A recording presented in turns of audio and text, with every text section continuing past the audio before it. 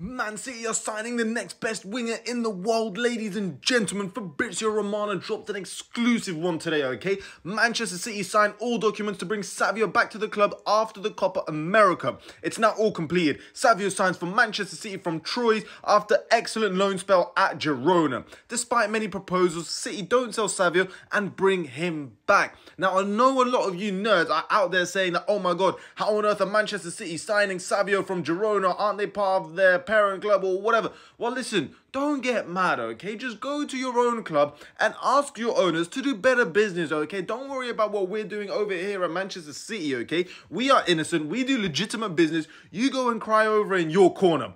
But guys, honestly, I need your help. I am not familiar with Savio's ball. I don't know how old he is. I think he's about 19 years old or something. How good is this guy, man? I need you guys to let me know in the comments, bro. Like, is he going to absolutely cook in the Premier League or maybe not so much, but I need to know, okay? We've got Jeremy Doku, we've got Savio now, and yo, are they going to be our wing pairings? Like, bro, is that trouble for Premier League defenders, citizens? Educate me, let me know what you think, please.